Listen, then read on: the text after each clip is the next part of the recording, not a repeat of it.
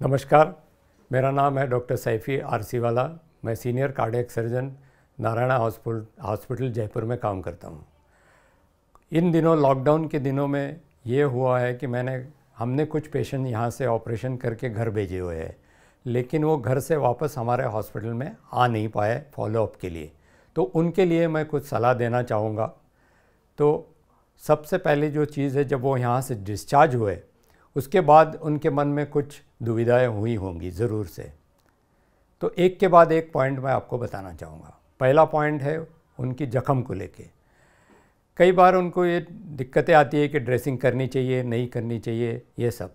तो ड्रेसिंग करने के बजाय जख्म को खुली रखनी चाहिए और उस पर सवेरे शाम बिटादिन लगाना चाहिए। जब तक टाके निकल जाते हैं, टाके निकलने के बाद उसको सिर्फ़ बिटाडिन से साफ़ किया जाए सवेरे शाम। ये हुई जख्म के बारे में बात। जख्म दोनों तरफ़ हो सकती है, जिनका बाईपास सर्जरी हुआ है, उनको छाती पे जख्म होती है और पैरों पे जख्म होती है। और जिनका वाल्व का ऑपरेशन हुआ है, उन्हें सिर्फ़ छाती पे जख्म होती है। धीरे धीरे ये जख्म अब तक तो बहुत से पेशेंट्स की ये जख्म ठीक भी हो चुकी होंगी। पंद्रह दिन में ये जख्म अच्छी तरह से ठीक हो जाती है, टाँके निकल जाते हैं और कोई परेशानी नहीं रहती। जिन लोगों को टाँकों में से थोड़ा सा गीलापन रहा हो या रेडिशनेस लालश स्वेलिंग सी रही हो, उन लोगों ने अपने डॉक्टर से परामर्श कर लेना चाहिए और हमें हॉस्पिटल से संपर्क करना चाहिए। ये हो गई जख्म की बात। दूसरी बात होती है, दवाइयाँ कैसी लेनी और कब तक लेनी। इन दवाइयों में से कुछ दवाइयाँ दी गई है, उसे एंटीबायोटिक कहते हैं, उसे बंद करना चाहिए। जो दवाइयाँ चालू रखनी है, उसके नाम मैं आम तौर पर मोटे मोटे तरीके से बता देता हूँ। एक तो है इकोस्पोरिन और उसके साथ क्लोपिडोग्रेल। ये बंद नहीं करनी है। दूसरी दवाई है स्टैटिन्स। चाहे वो अटारवोस्टैटिन हो रोजुवोस्टैटिन हो, इसे भी बंद नहीं करना चाहिए। और तीसरी दवाई है मेट एक्सेल की या बीटा ब्लॉकर, जो हाई ब्लड प्रेशर के मरीज़ों को भी दिया जाता है।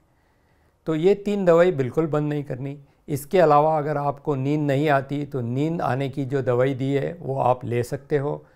इसके अलावा और पेट साफ़ करने की दवाई दी है। अगर आपको कॉन्स्टिपेशन है या पेट ठीक से साफ़ नहीं होता तो वो दवाई भी आप चालू रख सकते हो। एंटीबायोटिक्स की ज़रूरत नहीं है। पंद्रह दिन पूरे हो चुके हैं तो एंटीबायोटिक्स की बिल्कुल ज़रूरत नहीं है। तो ये हो गई दवाइयाँ जिन्हें बाईपास जिनकी बाईपास सर्जरी हुई है। अब वो मरीज़ है जिनको वाल रिप्लेस हुआ है। वाल रिप्लेसमेंट वालों को भी एंटीबायोटिक दिया जाता है, जो बंद कर देते हैं हम सात या दस दिन में। उसके बाद जो उन्हें कंपलसरीली दवाई लेनी है, अनिवार्य है उनके लिए, वो है या तो एसिट्रोम और वॉरफेरिन। ये दो टैबलेट दोनों में से एक टैबलेट दी जाती है, वो खून पतला करने के लिए दी जाती है। और खून पतला रखना ज़रूरी होता है इन वाल पेशेंट में, नहीं तो इनमें थ्रोम्बस या खून के गट्टे बन सकते हैं, जो उनका वाल बंद कर सकते हैं या ब्रेन में जा सकते हैं। इसलिए इन्हें खून पतला करने की दवाई देना ज़रूरी है। लेकिन इसके साथ साथ जब खून पतला करने की दवाई देते हैं तो एक टेस्ट होती है कि खून कितना पतला हुआ वो जानने के लिए। उस टेस्ट को कहते हैं आयनआर अगर आप वो आयनआर आसानी से करवा सकते हो तो आपको करवा लेना चाहिए। अगर नहीं भी करवा सकते हो तो ये जो दो दवाई लिख, दो दवाई दी है, वॉरफेरिन अथवा एसिट्रोम, ये दोनों में से एक दवाई आपको लिखी है, वो आपने चालू रखना है और जो डोज में दी है, वो चालू रखना है। उसे बंद नहीं करना। इसके साथ साथ इकोस्पोरिन भी दी गई होंगी वाल के मरीज़ों को। तो वो दवाइयाँ आपने चालू रखना है और बंद नहीं करना अपने आप में। दवाई ख़त्म हो गई, इसलिए बंद करना ऐसा नहीं करना है। दवाई ख़त्म हो गई, दूसरी दवाई लेके आओ और वो चालू ही रखना है जब तक ये लॉकडाउन चालू है। अगर आप आई नहीं कर सकते हो किसी कारण से और आपको ये जानना है, पता कैसा चले कि खून पतला हो गया, वो ऐसे पता चलेगा कि आपके नाक में से खून निकलेगा या दांत में ब्रश करते समय एक्सेसिवली खून निकलेगा, ज़्यादा निकलेगा, महावरी ज़्यादा हो रही है। ऐसे स्थिति में जब खून पतला होता है तो ब्लीडिंग होती है। तो इसके लिए आप अपने डॉक्टर को तुरंत संपर्क करें या फिर हॉस्पिटल को हमारे संपर्क करें, जिससे हम आपको सलाह दे सकते हैं कि आगे क्या करना चाहिए। तो ये हुई बात मेडिसिन की। अब दूसरी बात आती है कि कुछ सिम्टम्स होते हैं जो घर जाने के बाद कुछ लक्षण होते हैं, मरीज़ को ऐसा लगता है कि उसे कुछ प्रॉब्लम है। तो वो कुछ सिम्टम्स के बारे में मैं आपको बताऊँगा। एक है खांसी आना। ये काफ़ी कॉमन है सिम्टम्स ऑपरेशन के बाद। कई लोगों को खांसी आती है तो वो खांसी की दवाई जो दी गई है, वो चालू रखना है। और अगर बहुत ज़्यादा खांसी आती है तो डॉक्टर से संपर्क करना है। दूसरा है फीवर आना या हल्के से पेन होना छाती में। ये कॉमन सिम्टम्स है, जहाँ जख्म होती है, वहाँ पेन होता है।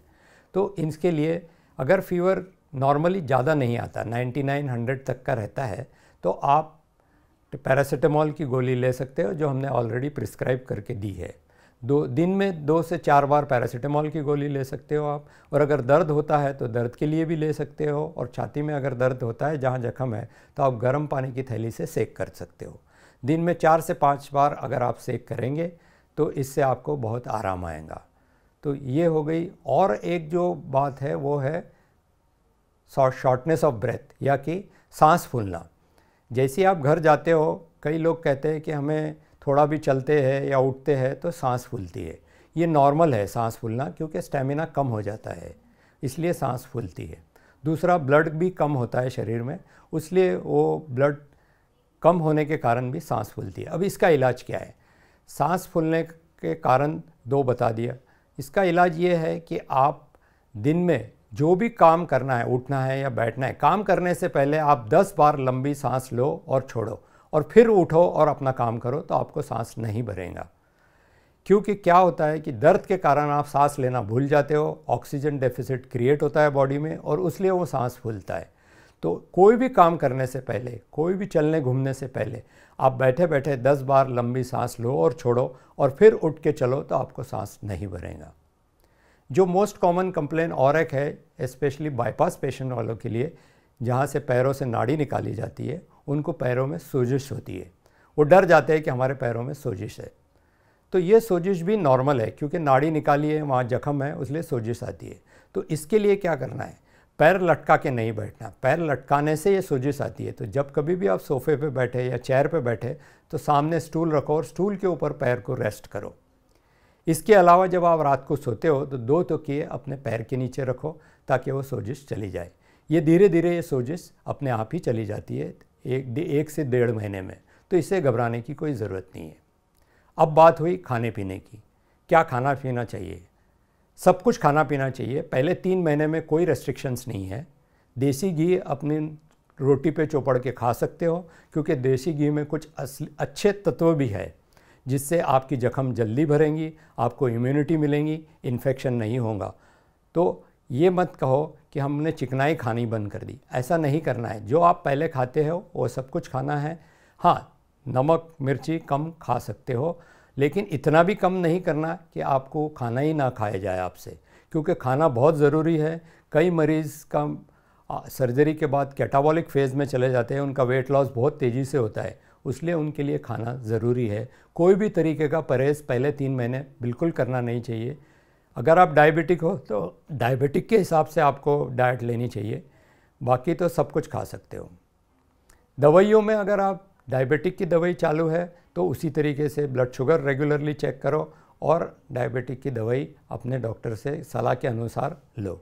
अगर आपको ब्लड प्रेशर की दवाई चालू है तो आप ब्लड प्रेशर की वो दवाई चालू रखें ब्लड प्रेशर मेजर करते रहे और कम ज़्यादा अगर होता है या लगता है आपको तो अपने डॉक्टर से परामर्श करें या हॉस्पिटल को हमारे कांटेक्ट करें। अब बात रही एक्सरसाइज की।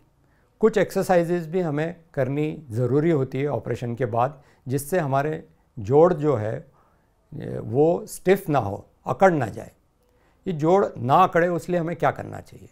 उसे एक सिंपल तरीका है कि जितने भी हमारे शरीर में जोड़ है, चाहे शोल्डर हो, एल्बो हो, रिस्ट जॉइंट हो, हिप जॉइंट हो, नी जॉइंट हो, एंकल हो या नेक हो, कोई भी जॉइंट है हमारे शरीर में, जितने भी जॉइंट है, सबको हला लेना चाहिए। दिन में दो बार कम से कम सारे जॉइंट एक एक मिनट के लिए हला लेना चाहिए। हलाते रहो, मूवमेंट करते रहो उस जॉइंट पे, चाहे किसी भी तरीके की मूवमेंट हो। आप हर जॉइंट पे मूवमेंट करो। ताकि इससे स्टिफनेस नहीं होंगी आपको। और एक्सरसाइज भी होंगी साथ में। इतनी भी एक्सरसाइज मत करो कि आपको छाती में दर्द हो या सांस फूले। हल्के से सांस फूले, वहाँ पे आपको एक्सरसाइज बंद करनी है। या दर्द होना शुरू है, वहाँ पे आपको एक्सरसाइज बंद करनी है। इतनी ही एक्सरसाइज करनी है। और दोस्तों, इसके अलावा अगर आपको और कोई परेशानी हो तो आप हमें हॉस्पिटल में संपर्क कर सकते हो। धन्यवाद।